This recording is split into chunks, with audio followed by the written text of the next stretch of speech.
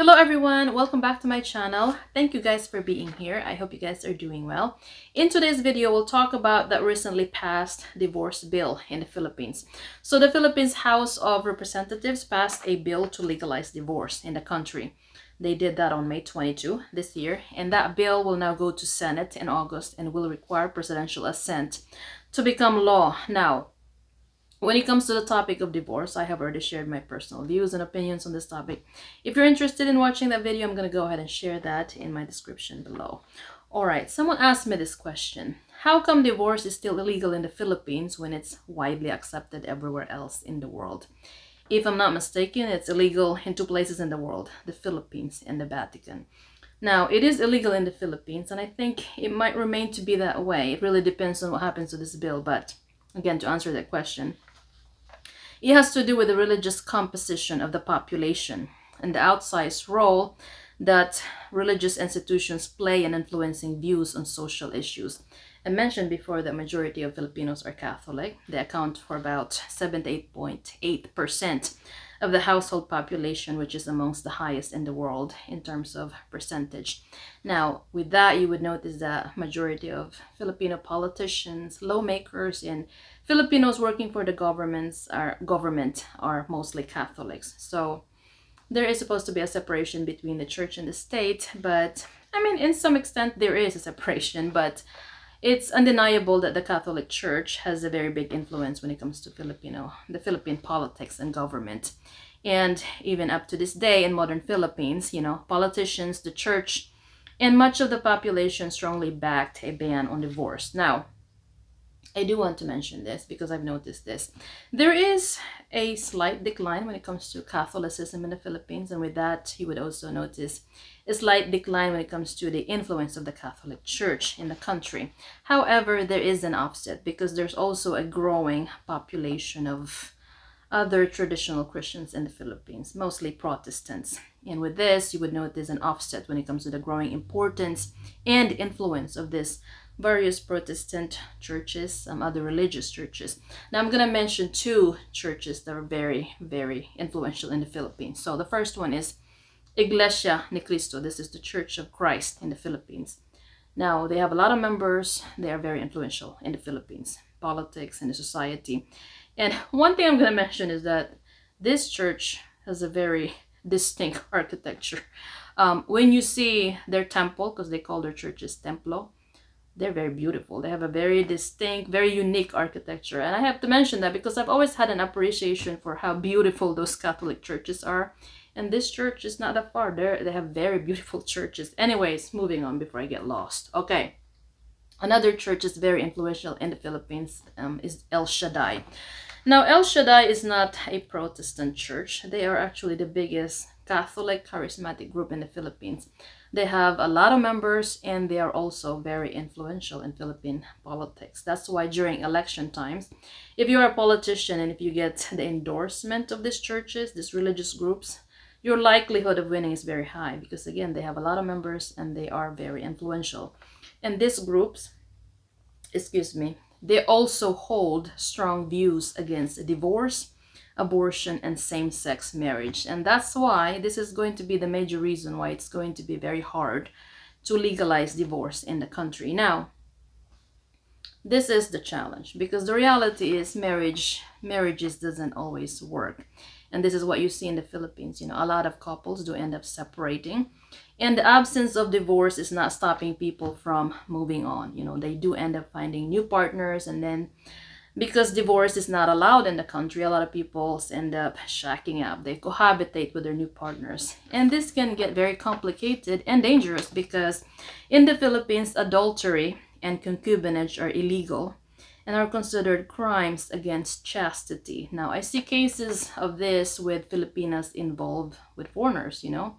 They have already moved on, but then their ex-Filipino husband. I'm not sure if you can consider that ex because technically you're still legally married. But yes, their Filipino husbands wants to reconcile, but you know, the Filipinos already moved on with a foreigner, but it's complicated because again, these are considered illegal in the Philippines. And if you get caught doing that, you can go to jail. And um, as I mentioned, again, it's very complicated because of that situation. Now, for women committing that, the husband can file, committing that crime, the husband can file adultery. And if it's the other way around, the, the wife can file concubinage. So, yes, that's what happens. A lot of times I notice that initially that is it works for some couple because they just they're both they both have found new partners and they would just do some sort of a verbal agreement like I'm moving on with my life, you move on with your life. And then sometimes it gets complicated when the husband or the wife, it depends on the situation, um, you know, their second relationship doesn't work, you know, they break up with the other partner and then now they want to reconcile with the partner that technically already has moved on. So it can get very complicated. Now, since divorce is not allowed in the Philippines, um, there is two way there are two ways to like separate um, there is legal separation and annulment now with legal separation most filipinos don't want this because you are legally separated but you are not really you're technically still married you know you're just legally separated you can legally live apart live apart but you are still legally married so you cannot remarry you cannot marry a new another person. So for most Filipinos, I mean, what's the point? Because a lot of people do end up finding another. I mean, sometimes that's even the reason of the breakup to begin with. So for a lot of Filipinos, they don't want legal separation. Now, most Filipinos prefer annulment. The problem with annulment is that it's very complicated because annulment in the Philippines, with that, basically the marriage is declared void as though it never happened. And you're gonna have to meet certain grounds for that annulment to be granted. So it can be a very long process. It's very expensive. And a lot of filipinos think this is only for the rich because i mean technically the reality is only the rich can afford it i believe right now it costs at least three thousand dollars a hundred to 150,000 pesos to file it. So i mean if you are a common filipino you're not making that kind of money. You're gonna be stuck in that kind of situation you know. It's uh, that's why a lot of Filipino are wanting to legalize, are in favor of legalizing divorce in the Philippines. Now, so what does this bill proposes? The bill stipulates the ground for divorce, absolute divorce, which includes psychological incapacity, irreconcilable differences, domestic or marital abuse, and etc. Now, a lot of people in Philippines um, don't like this one specific ground, irreconcilable differences, because this is basically like a catch-all for everything like here in the US you know a lot of Filipinos think that's not good because that's gonna make it so easy to get a divorce and going back to this bill, the proposed bill, the petitioners can approach a family court, which will give a mandatory 60 day cooling off period in certain cases if there is a scope for reconciliation. Now, that's actually very nice, the 60 day cooling off period. I think that's very similar to what South Korea does. I'm not sure how long the cooling off period is, but you know, that's a good amount of time to maybe consider reconciliation. I'm sure the elders in the Filipino families would like that one. Okay, if the petition goes ahead, so if the couple doesn't get into that reconciliation, it must be decided within the year. So it's still not going to be as easy to get it because it's going to take a little bit more time. All right, the decree of absolute divorce shall have the effect of judicial dissolution of a marriage where the divorced spouses return to their status of being single with the right to contract marriage again. This is according to the Philippine News Agency. Now, there's a lot of there's a lot of debates on this one because some people were saying that you know the Philippines can make history this time around because Actually, a similar bill was passed in 2018, but then the moment it got to Senate, that's that's where it stopped. You know, it it faced a lot of opposition, and I think this one, this bill, will also face a lot of opposition. Now, some people are saying the Philippines could make history. They probably are. You know, some people are saying, oh, Philippines is closer to you know, legalizing divorce because this time around some local surveys have shown about half the population to be accepting of divorce. That's a higher percentage than, you know, from 2018, obviously. And the current president of the Philippines, Bongbong Marcos, has extended his qualified support for divorce.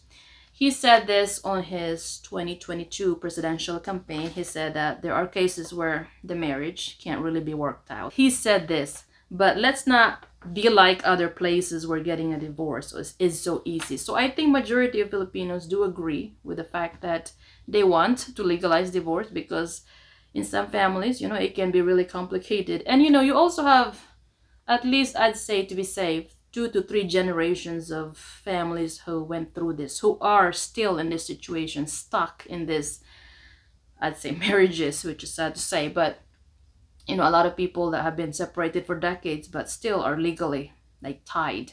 And you also have a generation, two to three generation of children who are now adults growing up in these broken families. And for a lot of these children that's now adult, they, they say, and what's the point of not having a divorce? I mean, people, you know, our parents separated anyways. They moved on with new partners, you know. That's the reason why Filipinos are more open to the idea of divorce. Now, will Philippines is Philippines closer to legalizing divorce? Maybe, maybe not. Again, there is going to be a big opposition in this one because, again, the Philippines remains to be a majority Catholic country. And someone asked me this question, which I thought was very interesting. He said, um, I mean, how come Philippine, Filipino Catholics are so opposed with divorce when Catholics all over in other places like Europe and here in the US, you know, are accepting of divorce? Um, the case of the Philippines is quite unique, I'd say, because it's not just, I mean, Catholicism is embedded in the Filipino culture. Again, the Philippines has been colonized by Spain for what 300 years, so that's really embedded into our culture. But it's not just really religion. I think the society in general look down upon those who don't hmm, look down upon those who break their marital vows, and there's always that stigma. I would say, not just the couple who's who decided to separate or to break their marriage vow, but even the children. So it's been like that in the country. It's not just religion, it's just it's culture in general. You know, people still think of divorce as taboo. So it's going to be hard to legalize this divorce. Um, but I do think it's inevitable. I think sooner or later it's going to happen. So if you have any more um, comments on this, you're more than welcome to do that in my comment section below. I'll see you guys in my next one. Bye, everyone.